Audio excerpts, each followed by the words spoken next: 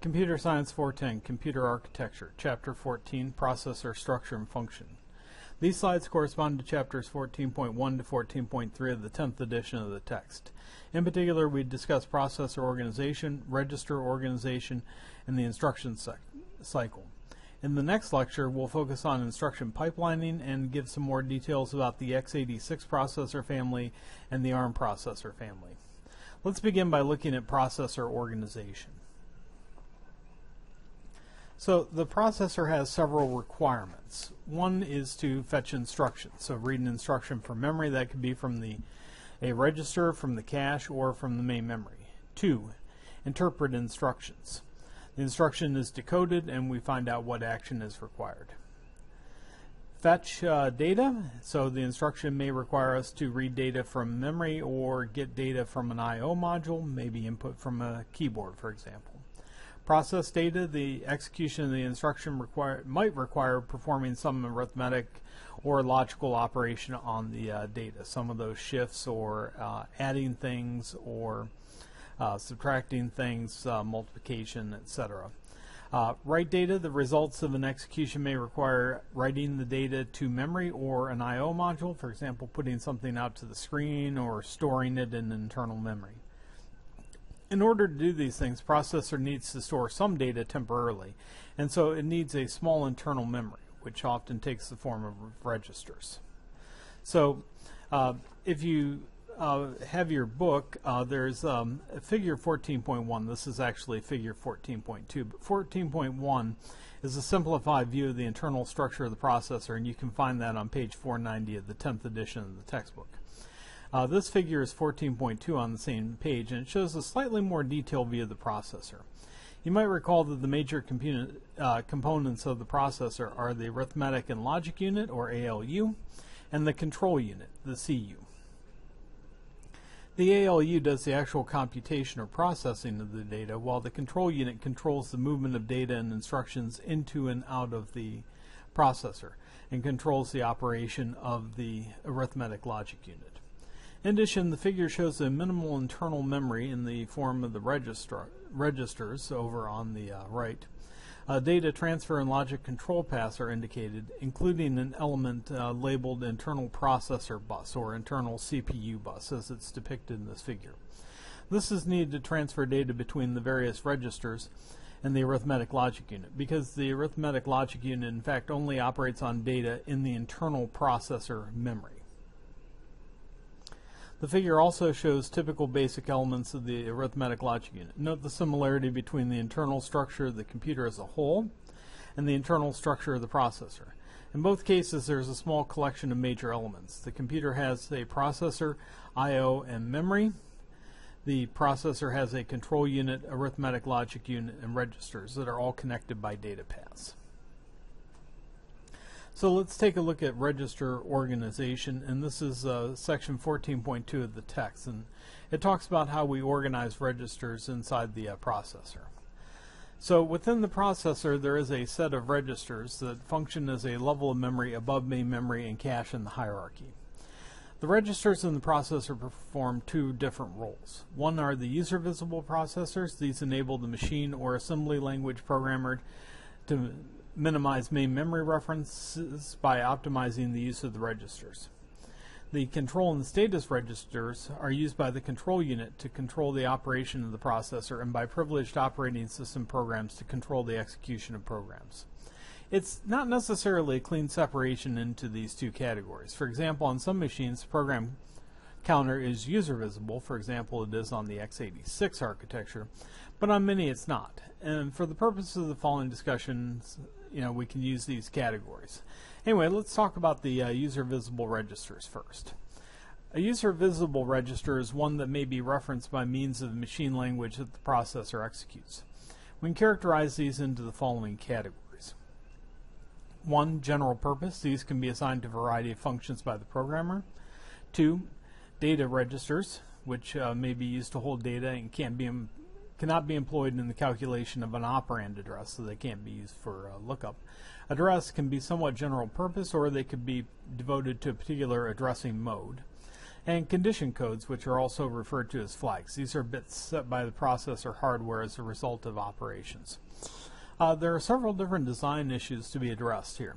An important issue is whether to use completely general purpose registers or to specialize their use. We've already touched on the issue in the last chapter because it affects instruction set design. With the use of specialized registers, it can generally be implicit in the opcode which type of register a certain operand uh, refers to. The operand specifier must be must only identify one one of a set of specialized registers rather than one out of all the registers, thus saving bits. On the other hand, the specialization limits the programmer's flexibility. A second design issue is the number of registers, either general purpose or data plus the address to be provided. Again, this affects the instruction set design because more registers require more operand specifier bits. Um, between 8 and 32 registers appear to be optimal. Uh, fewer registers require uh, more memory references, whereas having more than 32 does not noticeably reduce memory references. However, there is an approach uh, that uh, finds use with uh, finds a use for hundreds of registers, and that's exhibited in some RISC systems, which we're going to discuss a little bit later in the course. Uh, there's also the issue of register length. Registers that must hold addresses obviously need to be long enough to hold the largest address. Data registers should be able to hold values of most data types, and some machines allow two contiguous registers to uh, be used um, in conjunction with one another to hold double length values. Finally, some registers hold condition codes. Programmer generally can't alter them. Uh, some processors don't use condition codes, and let's see why that is. So condition codes are good because they're set by normal arithmetic and data movement instructions, and they should reduce the number of compare and test instructions needed. Uh, condition instructions such as branch are simplified relative to composite instructions such as test and branch. Uh, condition codes facilitate multi-way branches. For example, a testing instruction can be followed by two branches, one on less than or equal to zero and one on greater than zero. Condition codes can be saved on the stack during subroutine calls along with other register information. So those are the good things.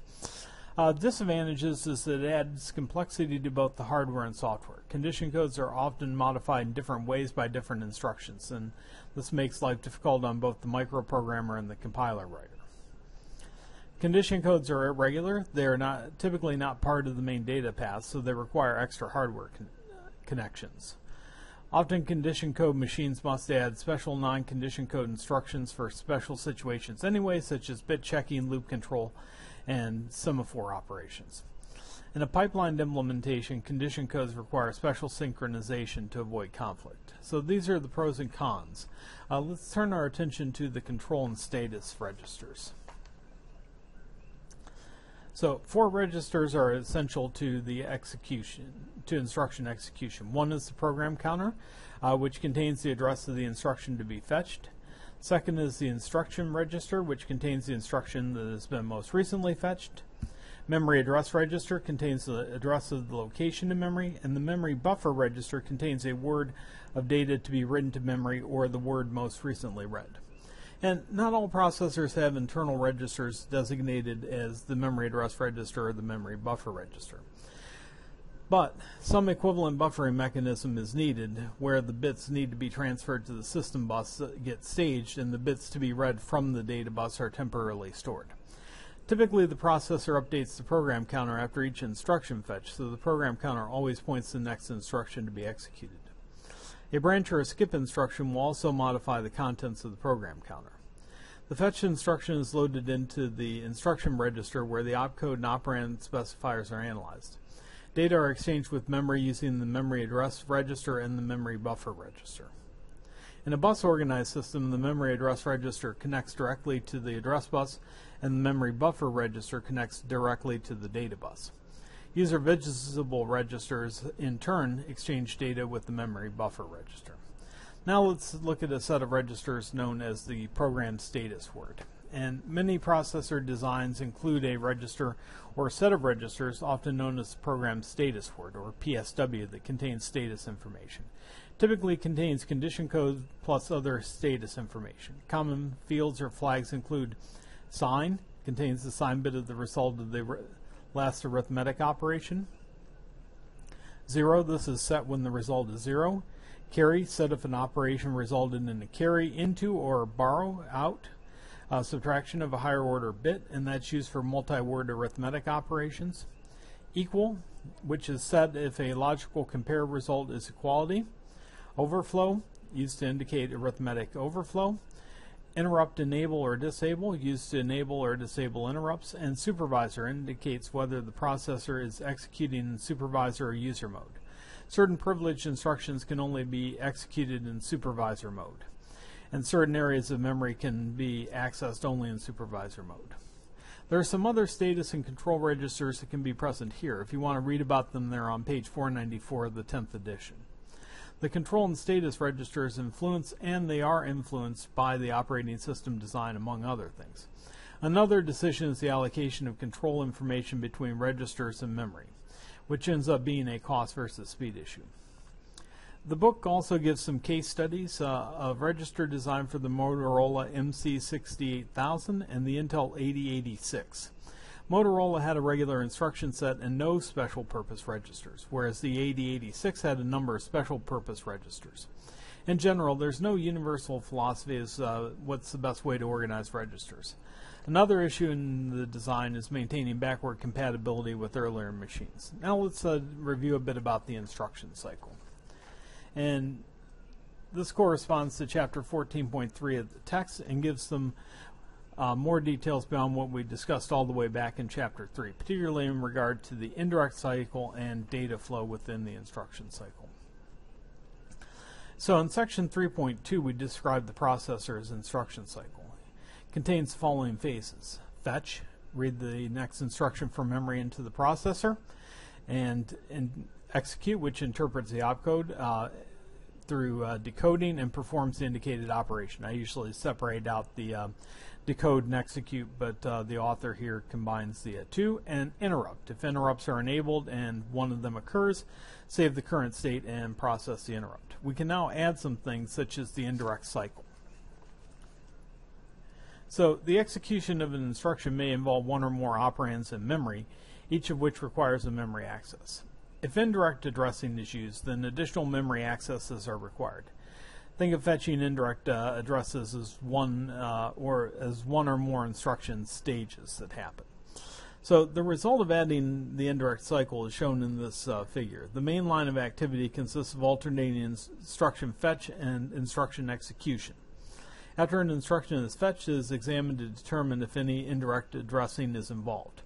If so, the required operands are fetched using indirect addressing.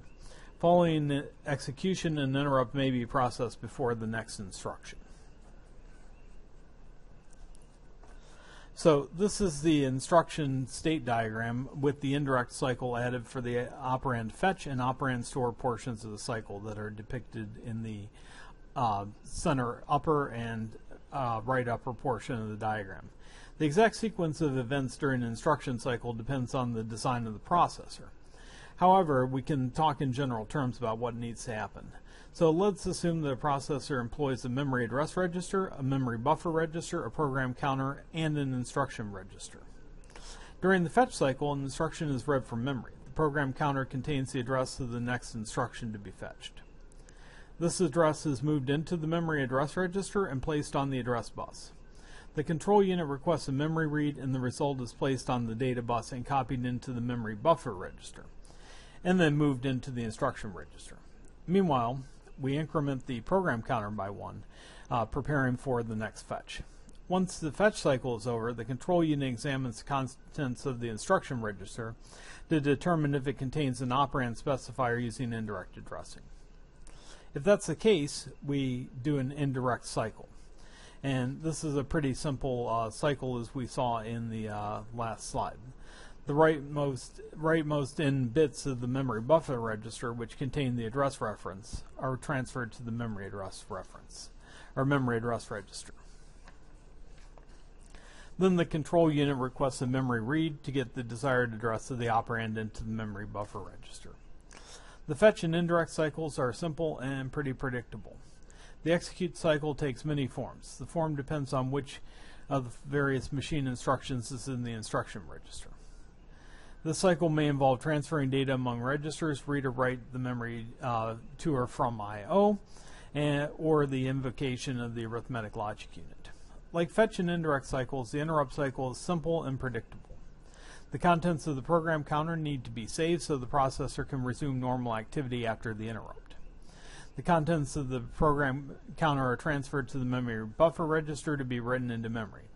Special memory location reserved for this purpose is loaded into the memory address register from the control unit. It might, for example, be a stack pointer. The program counter is loaded with the address of the interrupt routine, and the next instruction cycle will begin by fetching the appropriate instruction from the interrupt routine. If you want to see more details on this, take a look at uh, figures 14.6, 14.7, and 14.8. And those can all be found on page 498 to 499 of the text. So next time we'll look at pipelining, and that's a pretty important concept, so we'll focus on that uh, rather than the details of uh, how the x86 and ARM implement uh, these uh, types of processor design issues. We'll cover all three of those items, but most of our focus will be on pipelining.